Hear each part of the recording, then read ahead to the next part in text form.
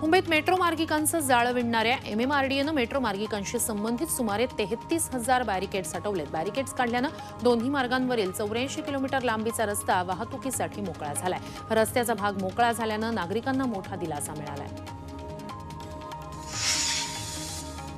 मडगाव मुंबई वंदे भारत एक्सप्रेसला प्रवाशांचा उत्तम प्रतिसाद मिळतोय. बुधवारपासून सर्वसामान्यांच्या सेवेत वंदे भारत रुजू झाले. दोन दिवसात या वंदे भारतनं तेरा लाखांची कमाई केली आहे. देशभरात कर्जाचे व्याजदर वाढलेत. घरांच्या किमतीही सहा ते सात टक्क्यांनी वाढल्यात. मात्र घर खरेदी करणाऱ्यांची संख्याही झपाट्यानं वाढलेली आहे. यंदा देशभरात घर खरेदी पस्तीस टक्क्यांनी वाढली आहे. मुंबई आणि बंगळुरूमध्ये सर्वाधिक घरांची विक्री झाली देशातील दिग्गज I T company Tata consultancy सर्व्हिसेसनं नोकरी घोटाळ्या प्रकरणी मोठी कारवाई केली आहे. TCS company Amrut Noni power plus. यामध्ये असलेल्या नोनी फळामुळे ते फक्त आपली इम्युनिटी वाढवत नाही तर दिवसभर आपल्याला ताज तवानं ठेवतो. माझ्या उत्तम आरोग्याची ना अमृत नोनी पॉवर प्लस. कंपनीनं सहा कर्मचारी आणि सहा बिझनेस असोसिएट फर्मवर बंदी घातली. टीसीएसमध्ये शंभर कोटी रुपयांचा नोकरी घोटाळा समोर आला होता त्यामुळे ही कारवाई करण्यात आली आहे.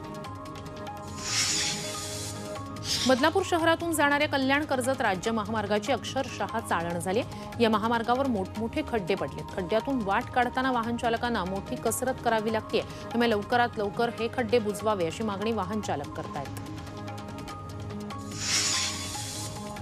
अंबरनाथ नगरपालिकेच्या नव्या प्रशासकीय इमारतीकडे जाणाऱ्या रस्त्यांची दुरवस्था झाली आहे. सर्वसामान्य नागरिकांना येण्यासाठी दोन मार्ग आहेत. इमारतीच्या प्रांगणात मोठ्या प्रमाणात पाणी आणि चिखल साचलाय त्यामुळे नागरिकांना चिखल तुडवतच कार्यालयात प्रवेश करावा लागतोय. सातारा कोरेगाव रस्त्यावर खड्डे पडल्यामुळे संगम माहुली गावच्या लोकांनी रास्ता रोको केला. गेली अनेक वर्ष या रस्त्याची डागडुजीच करण्यात आलेली नाहीये. परिणामी मोठमोठे खड्डे पडलेत. या भागात वारंवार अपघात होत असल्यानं संतापलेल्या ग्रामस्थांनी रास्ता रोको केला.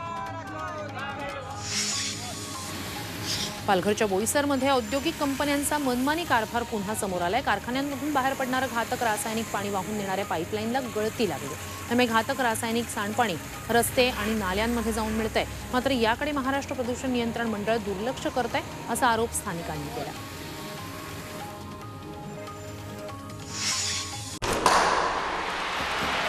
लाल मातीतली कुस्ती. म्हणजे